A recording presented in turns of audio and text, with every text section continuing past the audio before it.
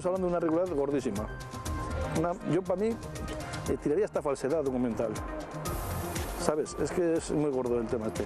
Solo una, empresa en la zona tiene un autobús con esas características para prestar ese servicio. Y claro, se lo va a, le ha beneficiado a él claramente. ¿Cómo están? Buenas noches. Dos empresas de transporte han denunciado otra vez al jefe de contratación de la Dirección Provincial de Educación. Le acusan de querer favorecer a un empresario de Villarcayo en la adjudicación de tres rutas escolares. Exigían vehículos adaptados para transportar a alumnos en sillas de ruedas en centros donde no los hay. El uso de la bicicleta va en aumento en los desplazamientos urbanos. Por eso el Ayuntamiento de la capital está estudiando nuevos carriles específicos para este medio de transporte. Los usuarios también contarán con 700 nuevos aparcabicicletas la próxima primavera. El equipo de gobierno está en ello y ya ha sido el alcalde el que ha firmado un decreto para que la sección de vías aborde el trazado del carril bici precisamente, como dices, por ese incremento de los usuarios de bicicleta. El Café del Fórum ya tiene nuevo dueño. El propietario del grupo Braseros ha sido el adjudicatario del concurso. Pagará un alquiler mensual de 550 euros masiva mensuales y abrirá sus puertas a mediados del mes de noviembre. La idea del nuevo gerente es crear una cafetería cálida con carta de cafés, picoteo y diferentes menús. También se van a celebrar grandes eventos y bodas. El Centro Nacional de Investigación sobre la Evolución Humana será la sede en 2020 de uno de los congresos más importantes del mundo de la geocronología. Englobará las disciplinas de luminiscencia y resonancia paramagnética electrónica, una cita que se celebra cada tres años y que traerá a Burgos a 500 expertos mundiales en física, química, geología y arqueología. En este congreso se presentan ideas de punta eh, digámoslo así, protocolos nuevos, metodologías nuevas, ideas nuevas. Y una de las cosas más importantes que hay en este momento es la congregación de una comunidad o asociación de métodos de datación en luminiscencia también les contaremos quién ha visitado hoy las bodegas Balduero, el afamado escritor Ken Follett. El autor ya forma parte del club de la membresía Latenada. El escritor galés ha firmado también la barrica, que a partir de ahora será de su propiedad. Me gusta el vino de esta región, eh, que son muy intensos, con muchos sabores. El grado de alcohol es muy bueno y lo comparo con el Cabernet Sauvignon. Y estos vinos pues eh, tienen menos azúcar y más sabor que el propio Cabernet Sauvignon. Se avecinan cambios en el tiempo. Mañana el paso de un frente por el norte de España provocará un aumento de la nubosidad e incluso alguna llovizna. Entrará viento fresco del nordeste y bajarán las temperaturas en la mitad norte.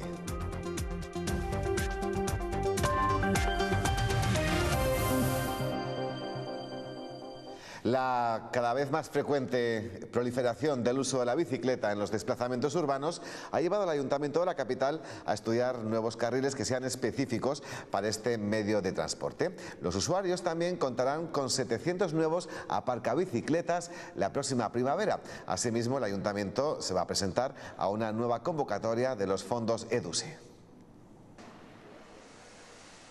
1.328 plazas de aparcamiento para bicicletas hay actualmente en Burgos, pero la demanda es notablemente mayor. Por ese motivo, el ayuntamiento invertirá 64.800 euros en 700 nuevos aparcabicis que aumentarán en un 50% esta dotación. Estarán colocados la próxima primavera. Mientras tanto, se abordará una ampliación de toda la red de carril bici. El alcalde, el que ha firmado un decreto para que la sección de vías aborde el trazado del carril bici, precisamente, como dices, por ese incremento de los usuarios de bicicleta. La ciudad intentará que a la tercera vaya la vencida y obtener fondos europeos EDUSI cuyo plazo de solicitud está abierto hasta el 22 de noviembre, pero en esta ocasión la cuantía para Castilla y León se ha reducido hasta 5 millones de euros. Reunirnos con los grupos para ver cuál es, eh, cuál es la forma que consideran ellos más adecuada de poder proceder a, la presentación del proyecto. El equipo de gobierno también ha salido al paso de las críticas a la poda de 60 árboles en el Parque de la Cruz Roja. Argumentan que se hace por seguridad y que se van a sustituir por nuevos ejemplares. Está directamente dirigida y orientada a mejorar la seguridad tanto la retirada del seto, que también es por motivos de seguridad, como la, como la parte que, que afecta al arbolado, que va a ser sustituido por otros ejemplares. Asimismo, desde hoy se está procediendo a limpiar el cauce más urbano del río Vena con la retirada de brotes de árboles y arbustos. Pues tras varios concursos desiertos, sin éxito, ya el Café Forum tiene nuevo dueño. El propietario del grupo Braseros ha sido el adjudicatario del concurso. Pagará un alquiler mensual de 550 euros masiva al mes, cantidad a la que hay que añadir otra de 2.500 euros en gastos fijos. Él abrirá a mediados del mes de, de noviembre. La idea del nuevo gerente es crear una cafetería cálida, con carta de cafés, picoteo y diferentes menús. También se van a celebrar grandes eventos y bodas. El mobiliario se está renovando y mejorando el espacio para hacerlo más funcional. El contrato se ha firmado por dos años y es prorrogable por otros dos. El Grupo Socialista presentará la próxima semana en el Senado una moción para urgir al Gobierno el inicio de los trabajos del AVE entre Burgos y Vitoria. El texto explica que esta infraestructura es clave para la captación de inversiones en el norte de España. La moción exige además al Ejecutivo que garantice una parada con horarios adecuados en la ciudad de Miranda de Ebro y reclama un cronograma de actuaciones con su correspondiente presupuesto para cumplir con los plazos que se marquen. Es un tema polémico. El último concurso de adjudicación de las 144 rutas escolares de la provincia vuelve a estar en entredicho y más que nunca en el punto de mira. Los dos transportistas de Villarcayo y Miranda, que denunciaron un presunto amaño en el concurso de 2011, que estuvo vigente, por cierto, hasta el curso pasado, han vuelto a querellarse contra el jefe de contratación de educación. Le acusan de favorecer en tres rutas al mismo empresario de Villarcayo en la ficha técnica para licitar entre rutas escolares para el colegio y el Instituto de Villarcayo y para el Colegio de Escalada se exigía un vehículo adaptado para alumnos con silla de ruedas. Solo una de las empresas de autobuses interesadas en esos recorridos disponía de rampa, por lo que solo esa empresa se presentó y finalmente resultó adjudicataria. Pero según denuncia este transportista de Villarcayo junto a otro de Miranda, en ninguno de los tres centros escolares hay alumnos matriculados con sillas de ruedas. Escribí una carta a los centros a los directores que me la hicieran firmada y sellada por el centro para que no habría ningún problema. Me la presentaron y ya me di cuenta de que nadie sabía nada. Era la primera noticia que tenía en los centros. Solo una, empresa en la zona tiene un autobús con esas características para prestar ese servicio. Y claro, se lo va a, le ha beneficiado a él claramente, por eso lo ha preparado. Un tema polémico ya que además el concurso anterior, que data del 2011 y ha estado en vigor hasta el curso pasado, está a la espera del juicio y el jefe de contratación de las rutas escolares, Fernando Antolín, puede llegar a ser condenado por amaño. Yo sé que va muy lenta la justicia, lentísima, pero yo creo que poco a poco ya llegaremos a lo suyo. Y piden al delegado de la Junta que aparte a ese funcionario. Eh, yo hablé con el delegado de la Junta, Baudilio, y me dio buenas perspectivas de palabra. Me dijo que en cuanto el perito judicial mm, tomara una determinación de una cosa u otra, se iba a levantar un acta y bueno, iba a hacer muchas cosas. Y resulta que ha sido todo lo contrario. Porque el delegado de la Junta confía plenamente en el jefe de contratación. El demandante, mientras tanto, ha escrito una carta al consejero de Educación denunciando que, a su juicio, ese funcionario no hace bien las cosas con el sector desde hace años. Los sindicatos de la Policía Nacional y las asociaciones de la Guardia Civil se han concentrado esta tarde a las puertas de la subdelegación del Gobierno. Una protesta, según anuncian en un comunicado, motivada por el acoso y humillación que están sufriendo sus compañeros trabajando en Cataluña. Reclaman al Gobierno que se garantice su integridad física ante los episodios de acoso independentista. Buen día.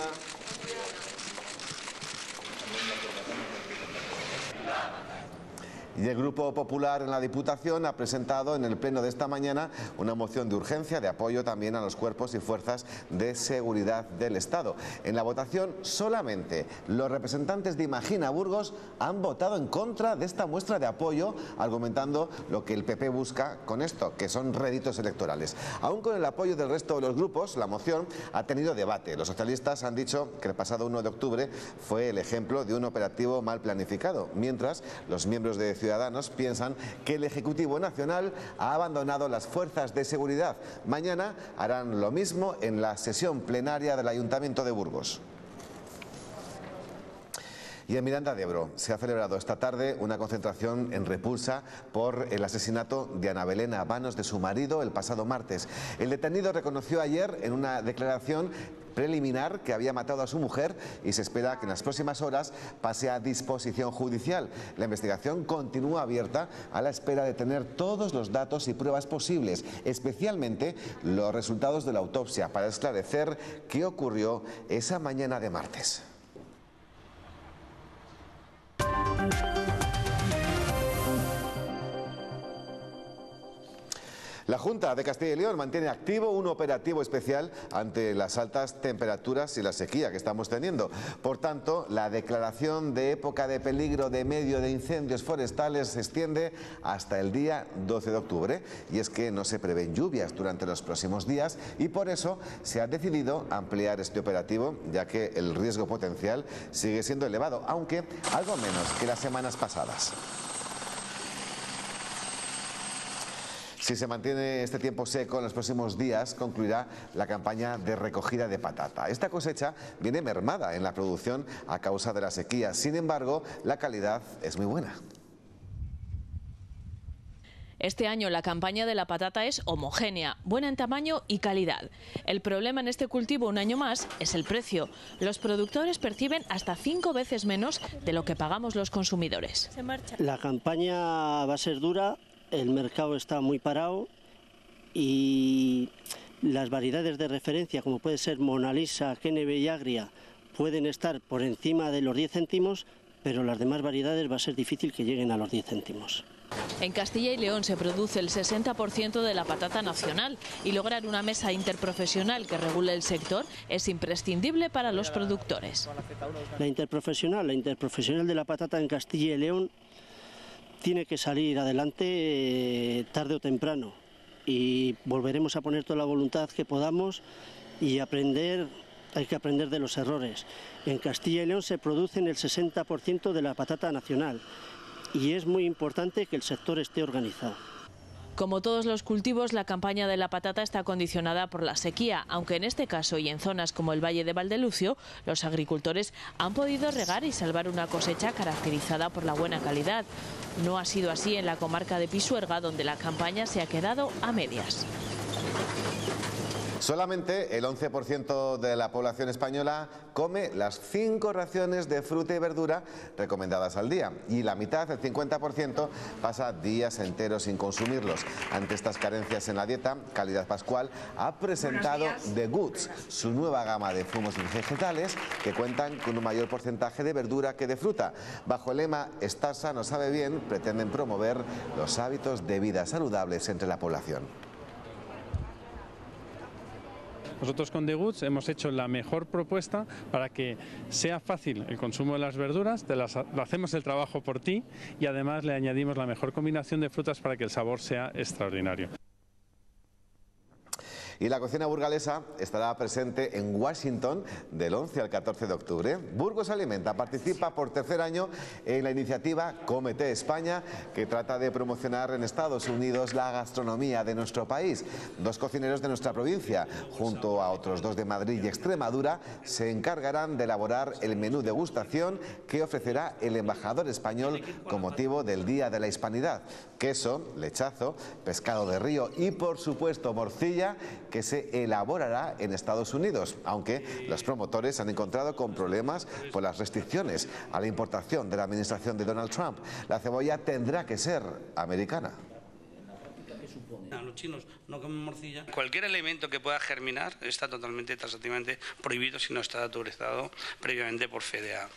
FDA te prohíbe que no puedas llevar nada que no se autoriza y la restricción es total y absoluta ahora mismo. Entonces, por ejemplo, pues algo como decir, bueno, nosotros consideramos que la cebolla era algo interesante, imprescindible y algo para, para diferenciar, eh, ha sido una de las cosas, bueno, prácticamente o sea, imposible, ¿no? El que la puede dar. Y en Castillo del Val lo que van a poder degustar este sábado serán productos típicos de Cantabria. Será a través de la primera edición de la Feria de Turismo y Agroalimentaria que acogerá esta localidad burgalesa del Alfoz de Burgos.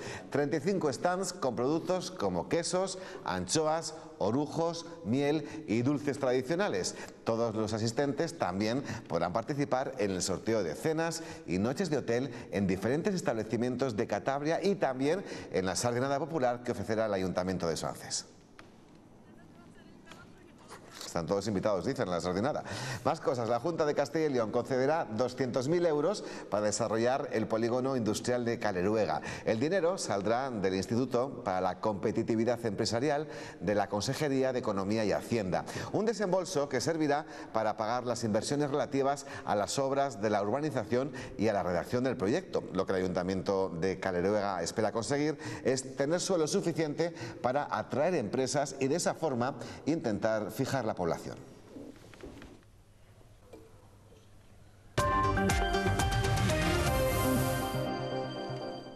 El Centro Nacional de Investigación sobre la Evolución Humana será la sede en el año 2020 de uno de los congresos más importantes del mundo de geocronología.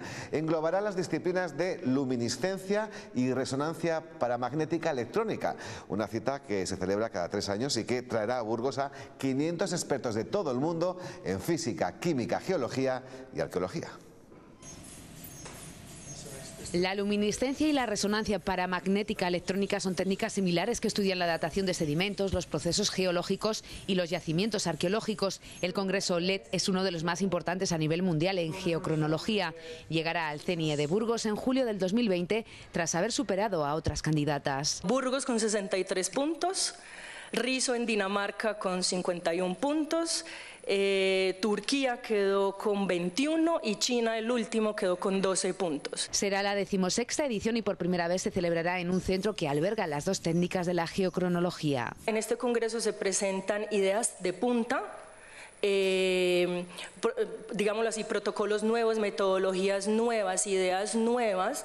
Y una de las cosas más importantes que hay en este momento es la congregación de una comunidad o asociación de métodos de datación en luminiscencia y en, en ESR. En los últimos años estas técnicas están viviendo un boom en su desarrollo. Datación de superficies de roca, que eso antes no se, solamente lo hacía cosmogénicos, ahora lo podemos hacer con luminiscencia. Pues la datación de nuevos minerales o la adaptación de nuevos materiales, como por ejemplo feldespatos que antes no se utilizaban. Se está intentando desarrollar ese, ese campo. Sus profesionales son físicos, químicos, geólogos y arqueólogos. 500 de estos expertos se reunirán dentro de tres años en el CNIE de Burgos, que ha recibido el bastón de mando Masai como próxima sede del Congreso Mundial LED. Habrá que esperar a 2020. Ahora vamos con el Instituto Geográfico Nacional que ha registrado un terremoto de 3,1 grados de magnitud en el Valle del Osa, concretamente en el Cañón. Es la misma zona donde se registró otro de magnitud similar el pasado 25 de agosto. Este nuevo movimiento sísmico se ha detectado a las 6 y 22 horas de la madrugada de este jueves y la profundidad del mismo ha sido de 12 kilómetros. Apenas ha tenido percepción. Pues vamos ya con la previsión del tiempo. Atención que mañana se avecinan cambios.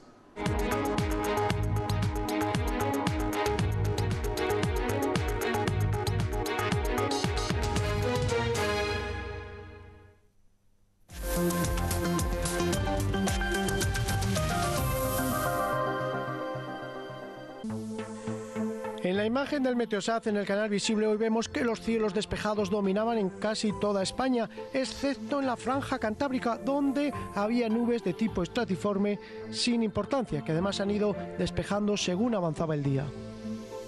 Y en la situación prevista para mañana a mediodía vemos que el anticiclón se coloca esta vez al oeste de Francia y desde esa posición va a favorecer la entrada mañana de vientos de componente norte-nordeste. Unos vientos que harán que en todo el Cantábrico haya cielos nubosos, incluso se produzcan algunas lluvias y chubascos. Y también eso mismo ocurrirá en zonas del norte y nordeste de nuestra provincia. En el resto seguirá con sol y eso sí, con viento del nordeste en la mitad norte. Por lo que se refiere a nuestra provincia, mañana viernes, por lo tanto, cielos muy nubosos por la mañana, sobre todo en el norte, con llovindas y chubascos débiles. Abriéndose claros por la tarde. Bajan las temperaturas considerablemente al entrar esos vientos del nordeste. Las máximas se quedan en 17 grados y las mínimas entre 10 y 11. Por el nordeste, nubosidad, alguna llovizna a primeras horas de la mañana, abriéndose claros por la tarde, descenso también notable de temperaturas, máximas que no pasarán de 20 grados. En el este tendremos nubes por la mañana y nubes con claros por la tarde. Bajan las temperaturas en toda esa zona con máximas de 19 grados y mínimas de 10. En la zona centro y en el oeste también tendremos algunas nubes por la mañana, primeras horas, luego se irá quedando poco nuboso o despejado. Y el viento del nordeste hará bajar las temperaturas, en Burgos sobre 20 grados, por Melgar en torno a 21. En el suroeste y en el sur cielos despejados. Aquí no se notarán los efectos del paso de ese frente. Tendremos además descenso de temperaturas, pero no tan apreciable como en el norte, quedándose las máximas en 23-24 grados, con frío eso sí por la noche. Y en la sierra, cielos poco nubosos o despejados, bajan las temperaturas máximas de 21 grados y frío por la noche. En Burgos mañana tendremos nubes estratiformes a primeras horas, pero luego sol. Lo más destacado es que soplará viento del nordeste, bajarán las temperaturas, mañana apenas pasaremos de 20 grados y luego por la noche hará frío. El sábado seguiremos teniendo algo de viento de nordeste, menos que el viernes, y subirán un poco las temperaturas, pero ojo al amanecer, que los valores de temperatura serán muy bajos. El domingo ya empiezan a recuperarse las temperaturas, con sol todo el día, y el lunes sol, nubes altas con temperaturas más suaves. Seguramente viendo esto no te imaginas lo que podemos hacer. Porque la cocina de tus sueños solo la conoces tú. Y el baño ideal está en tu cabeza. Nadie hace las reformas como tú quieres, pero eso es porque aún no nos conoces.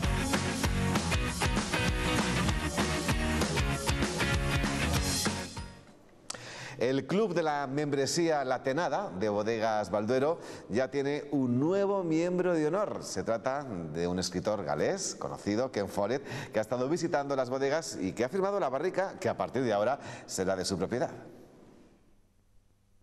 Ken Follett, el autor de Los Pilares de la Tierra, ya forma parte del club de la membresía latenada de las bodegas Balduero, junto a otros grandes como Plácido Domingo, Vargas Llosa, el cocinero con más estrellas Michelin, Martín Berasategui o Vicente del Bosque. El afamado escritor dice ser un gran amante de los caldos de la Ribera del Duero. Me gusta el vino de esta región. Son muy intensos, con muchos sabores, el grado de alcohol es muy bueno y lo comparo con el Cabernet Sauvignon. Y estos vinos pues tienen menos azúcar y más sabor que el propio Cabernet Sauvignon. Ken Follett acaba de publicar Una columna de fuego, la última novela de la trilogía de la que forman parte Los pilares de la tierra y Un mundo sin fin. La novela además tiene muchos pasajes de nuestro país del que se ha declarado enamorado.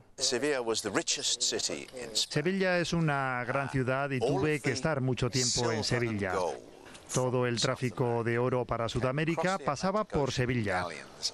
Una ciudad muy rica, con mucho extranjero, mucho inglés, y, y esa es la conexión que tengo con Sevilla. Hoy, más que nunca, la Ribera del Duero tiene un nuevo embajador mundial. 12 años después de su estreno en Londres, hoy ha llegado a Madrid el afamado musical Billy Elliot, con un presupuesto importante de 5 millones de euros y más de 180 personas implicadas. Una ambiciosa producción que cuenta con seis bailarines infantiles en el papel protagonista. Uno de ellos se llama Pablo Bravo y es de Burgos. Fue seleccionado de entre 250 niños, tiene 15 años, es burgalés y ha nacido para bailar. Él es Pablo Bravo, o mejor dicho, uno de los seis Billy Elliot que ves al escenario. Lo que más me gusta del personaje de Billy Elliot es que tiene un carácter diferente al mío.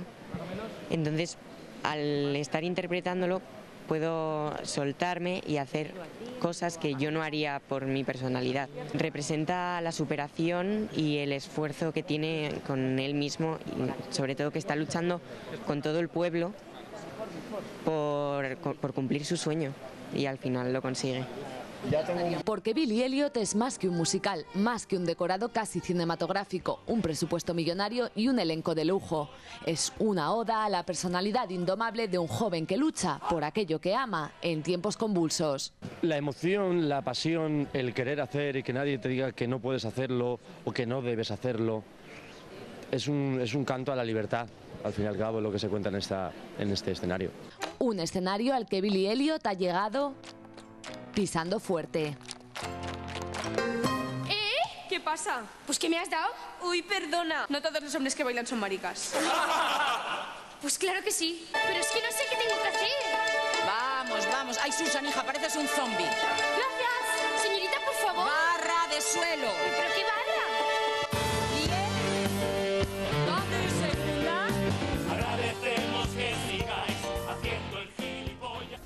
Y así nos marchamos. Ya saben que ahora llegan los deportes. Que descansen y si quieren, mañana más. Adiós.